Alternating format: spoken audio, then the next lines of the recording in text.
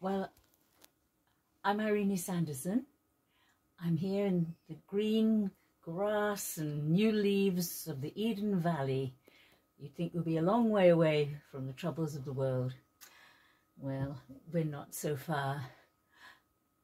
I can hear ticking in the distance, and it's called the Doomsday Clock, set up by the Bulletin of Atomic Scientists to warn us about the uh, 90 seconds we have before we manage to end the world with our so-called advanced technologies. There's a great danger, isn't there?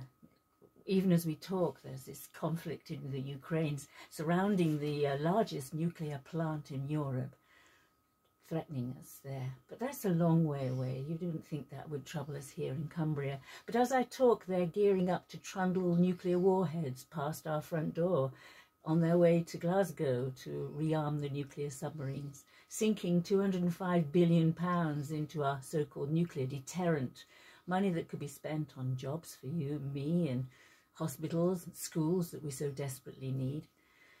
However, that's, uh, again, perhaps a bit bigger issue that we can cope with. But I do try being a member of the Campaign for Nuclear Disarmament, and that's how I came to be involved with XR Peace and XR Extinction Rebellion. We're working together to try and create a dialogue and cooperation to improve the world and, and not to let the money sink into the endless nuclear troughs and uh, climate deniers such as Mark Jenkinson, our future proposed candidate for this area we have over the horizon here, 40 miles away, two rather large problems that keep on cropping up.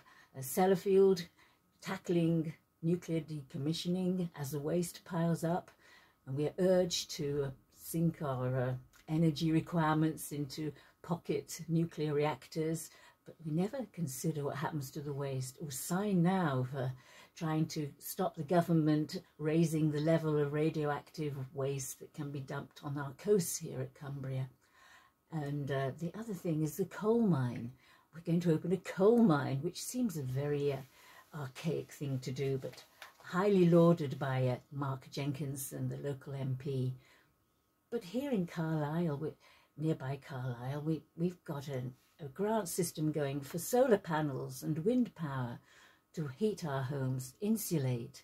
These are the measures we need so that we're not um, um, letting the greed of uh, individuals and companies such as West Cumbria Mining to take all our money and, well, the profits they glean from our local resources, sink them into the Cayman Islands. Well, uh, that's about it, I think, for today. And so we have uh, this, these niggling worries and this ticking of the doomsday clock, even here in our beautiful valleys. Well, thank you very yeah. much from Starsky. Much we do appreciate everything you've done for us and what you do in the future. Thank you.